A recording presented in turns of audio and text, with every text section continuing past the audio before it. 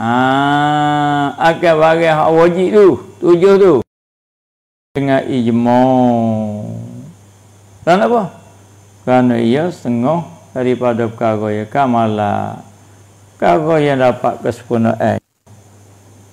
Hmm, maka barang siapa menafikan dia akan kamalah dengan ijma jadi ia kafir wa yazabillah dan hanya sungguhnya tidak wajib diketahui atas jalan tafsir jua.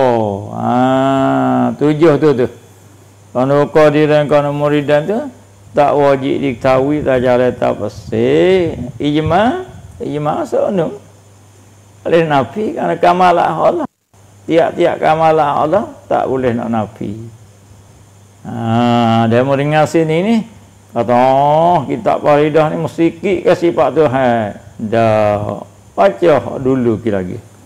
Baik tak boleh baca sekerak. Kita kena ambil di awal sampai kaki baru yang ti.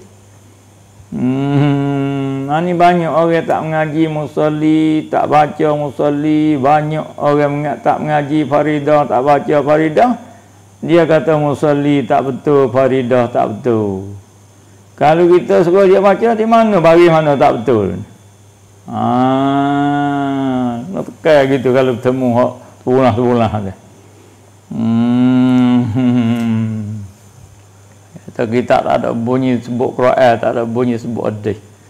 Ha, sungguh tak ada bunyi sebut sebut arak Quran hadis, tapi ia kecek dengan isi Quran dan kecek dengan isi hadis. Kecek dengan isyarat Quran dan isyarat hadis ya ulama tak boleh yang nak lepas pada dua tu ha. kerana hak tu tu perdu humbi hmm. habis itu maka yang pertama daripada 13 atau 20 Ha, yang 13 sifat tu wujud.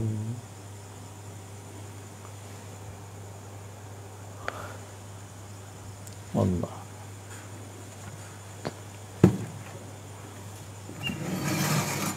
Auzubillahi minasyaitanir rajim.